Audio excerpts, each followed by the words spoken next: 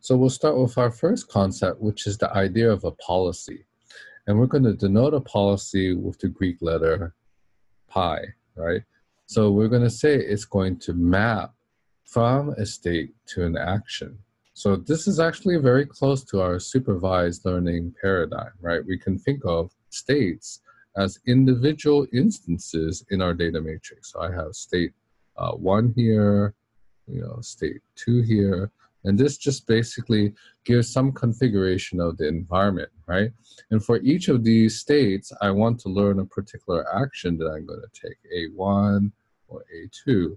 So if I'm happen to be in state S2, then I know I'm going to take action A2, right? And so you can think of this as uh, just this type of mapping or supervised learning problem mapping, where we want to say, um, given that I'm in a certain state, say S2 here, okay, over here, all right, then I'm going to uh, look through my mapping function and determine which action I'm going to take. And so this could be deterministic, but it could also be stochastic, right? I could say, you know, I uh, am in a particular state and I'm going to take an action with a certain amount of probability, right? So uh, being in a particular state here, you know, S uh, being a, a generic variable for any one of these states, right? It could be whichever one it selects, all right, uh, at a particular time step. Then I'm going to go to do a particular action with some probability from all the actions that are possible at that time step. Another key important concept is the idea of a value function, right? So the value function is interesting because it's basically a prediction about the future reward of uh, being in a certain state or taking a certain action, right? So you can say it's um, used to evaluate the goodness or uh, badness of a state. So you can see how this is going to affect the policy, right? So what we want to do is uh, select a, a particular state that's going to give more relative goodness than another uh, state that might be performing a little bit suboptimally, right? So we're going to use this value function to assess um, the relative value of states, and that's going to help us select what type of action to take. And it's going to have a particular formalism, right? We can say that the value function needs to be a function of a particular policy, like if we take certain actions, given certain states, we might end up with different values that we place upon uh, a particular state. So uh, again, since it's a prediction of future reward, what we can do is we can say, well, you know, what's my expected amount of reward for the policy that I have now? Well, I can say, well, uh, given that I'm going to take a certain action, I'm going to end up in a new state. That uh, new state has some reward, right? And then at that time step t plus one, I'm going to execute another action. And that new action is going to produce a new state. That new state is going to get another reward T2, and that T2 I'm going to recurse and do the same thing. So I'm going to go through all of these sequences, uh, given the fact that I'm in a particular state right now at time T. Okay, so it's going to be a sum total of all of these expected rewards. But because we have this idea of a future reward, we might want to say that, you know, uh, rewards farther and farther into the future will have some type of uh, parameter gamma that's going to discount it, right? We're going to say that, okay, uh, the immediate reward that we have is uh, somehow better. So we're going to formalize this in a short while. Another piece of the puzzle that we have is the idea of a model, right? So the model is basically something that's going to help us predict what the environment is going to uh, react and do with us next, right? So if I have a model of the world, like say, I pick up an object as a person, I know if I drop it, uh, I have a prediction about how the world is going to react. Gravity is going to take over and that object will fall to the ground. It might shatter, it might damage something, etc. So that is in the case where the agent itself has some type of uh, predictive power of what's going to happen next. And we can model that as a transition matrix, okay? this uh, large uh, uh, script p, the variable that I have here, which is going to predict the next state. So even if I have a very large data matrix, again, you know, our uh, x is here, and each of the rows in x is a particular state, what I am going to have is this matrix P, which is going to say, you know, well, I'm in a particular state right now, okay? If I'm in this particular state and I can take one of uh, several actions here, which of the following states am I going to end up next? You know, maybe I'll end up in state 172 or uh, 255 or something like that, okay? So basically, this transition probability matrix is then saying, um, for a particular action that's valid at this time step, uh, being in this state, uh, what's the probability of ending up in uh, a new state uh, at t plus one, okay, and whatever state that is, maybe uh, s prime, right? So we're just indexing it this, uh, from this state s to the state s prime, and then think of that as a probability value. So of course, as a probability, we would have to sum over all the possible actions that would allow us to end up at uh, any number of different states, right? And so uh, taking the sum total of the uh, probabilities for this row, it would have to sum to one, okay? And the model, that's for predicting the next state. We might also have a model of rewards. So we'll say script R is basically predicting the next immediate rewards that we would have at a certain time step. So here it would be the expectation of what rewards we would get at the next time step given that I'm in state S and I execute a particular action A. Okay, so we're going to indicate that as the script R here, uh, being in a particular state, not at a particular time step, but uh, being in a particular state, all right, and taking a particular action, right? So even if I'm at a uh, particular act, uh, state here, I might have different actions I can take, um, uh, you know, A1, A2, A3, A4, and then the tuple between the state and the action, right? Any one of these four actions will describe uh, what type of outcome I expect to get at the next time step in terms of an immediate reward. So let's try to concretize it a little bit. So we're looking at this grid world maze that we have here. So the objective is uh, similar to ones uh, in the uh, case of the laboratory rat where we start off at a particular location, let's say the starting location here, and our goal is to get to the checkered flag in the bottom, right? And we can say, you know, um, because we want to do this in the shortest possible, every time uh, you do an action, it has a cost, okay? So even though we're thinking of rewards, we'll just uh, cast them as negative to encourage the agent to uh, get to the goal as fast as possible. So a thought question for all of you uh, looking through the video, what happens if I don't institute a negative reward per time step? Okay, now with that, I have a sequence of actions um, that are available. Of course, these could be changed at any one time, you know, pretending on the state. Uh, so at any particular state, I might say, you know, you have the possibility of going north, uh, going east, going south, or going west. And then states would be basically any state in the grid, uh, basically a location in this, in which some of these locations, let's say, uh, for example, being here, um, make certain actions disallowed, right? So even though uh, in some general cases I can go north, east, south, and west, the only viable uh, action at this point is to go east and stay and not bump into any of the blue walls here. So that's the setup of the grid world. Let's, let's take a look at the policy, right? If I have a policy, that means for each viable state, which are all the white squares here, then I have to decide how I'm going to map that state into an action, right? So even though I have in certain locations more than one action, I have to formalize what I'm going to do. So in a case of a deterministic policy, we might have something like what the arrows indicate here, meaning, for example, if I'm at this uh, particular point here, I might decide um, that this hash table, my policy tells me that I'm going south, going down one. Uh, if I had a, a, a probabilistic policy, then maybe uh, you know I could go up, down, uh, or uh, to the to the right to go east uh, with some probability.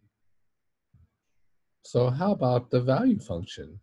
Then the value function basically represents the value for being in a particular state, right? So this is most clear when we're very close to the goal. So for example, here, uh, we know within one time step that I can have a, a, good value here, I would get to the goal. And uh, assuming the goal has no particular value, then I would say this is the best value um, in, in the state because at this point, I know I'm one step away from finishing the task and uh, I have a score of negative one here, right? So I can propagate this value function backwards through all the states to calculate uh, how far distant I am and uh, assign an appropriate value function for that state. So how about the grid world model?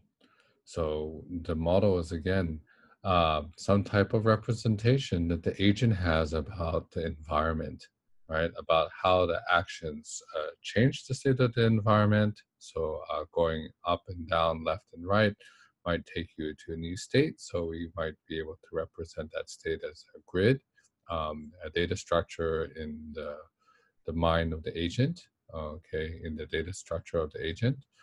Um, and then what rewards that we get for uh, going in each individual state. So for example, in this model that we have on the left here, it's just a representation of the immediate reward that we might be trying to encode uh, as the state information, right?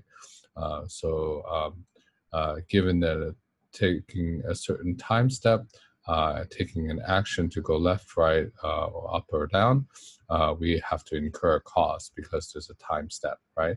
So that cost might be negative one. So this represents the immediate reward, reward, and that would be the same for uh, any uh, particular square here. Now, many times the model is not perfect, so even our estimates might be a little bit off here. So, for example, um, here we might think uh, for whatever reason that it takes a little bit longer uh, to traverse the square, so it might have a, a, higher cost. Okay, so in terms of our grid world, we could say that our grid representation layout um, represents the transition model, right? So we might think, okay, it looks pretty deterministic. We, we know from, uh, say, going from this state uh, to this state means we go to the to um, east one, for example. And uh, as I've already explained, the numbers here that would just uh, represent the immediate rewards. For example, going from uh, this state to this state requires one time step, so we incur the cost of one. So our uh, immediate reward is a negative number. Okay, then since we have talked about all three of these components, it's uh, a good time to consolidate this information into some type of taxonomy. So we can say, you know, there's the component of a value function and there's the component of a policy. And uh, in fact, uh, you can have agents that uh, don't actually have a policy that are just value based that look at either the actions values or the state's value and try to decide uh, based on some comparative uh, evaluation which uh, state or action is better to take. So we are going to call these value based reinforcement learning algorithms. There's also the case that you might uh, actually just develop a policy, right? Um, don't need to uh, decide uh, which states are better for you or which actions are better for you, but just to know that if you're in this particular state, you should do a particular action. So uh, you can think of this as some type of rule book, and we're going to call this a policy-based uh, method. There's also the possibility that you have both, right? So you can have an actor-critic formalism which adopts both uh, a, a, value function as well as a policy. Okay, and then completely independent of these decisions, is the idea of whether you need to incorporate a model or not. So you can have uh, model-free uh, reinforcement learning algorithms that don't try to model the environment, and ones that do. So I hope you understand all of these uh, five quadrants that we have here in terms of the bread uh, specification of an RL agent and uh, the three different types of components. Uh, again, this is not an exhaustive list of components, just uh, typical ones that you'll see in the case of uh, reinforcement learning. So let's stop and pause for a second and try to bring it up a level.